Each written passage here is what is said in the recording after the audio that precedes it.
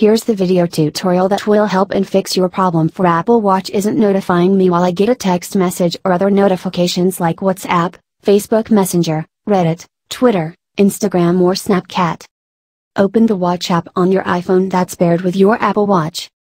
Now, tap on the notifications and find the list of all apps.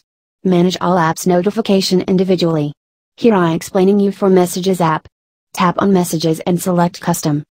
Select your preferred options like Send to Notification Center, Sound, Haptic, Repeat Alerts, and Notification Grouping. That's it.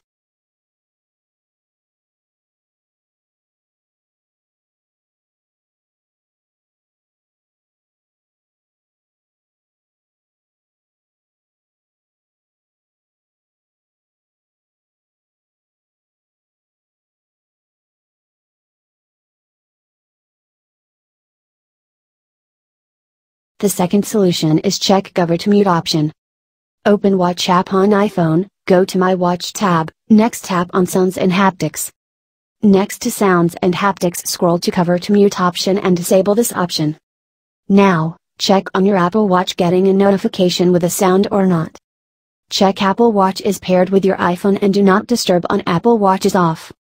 If none of the above solutions is worked for you, then erase Apple Watch content and settings on your Apple Watch. You can do it from your Apple Watch or from iPhone's Watch app.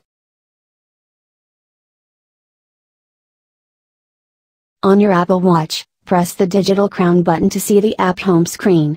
Tap on Settings app, next, go to General, Reset and Erase all content and settings option. On your iPhone, open Watch app on iPhone, tap on My Watch tab, tap on General, Reset and Erase Apple Watch content and settings option. It will clear all the data from your Apple Watch and pair again that will learn from next video. Or find video link in the video description. If you enjoyed this video like it and hit that subscribe button and tap on bell icon to get the latest video notifications alert also be sure to follow on social media and we'll see in the next video.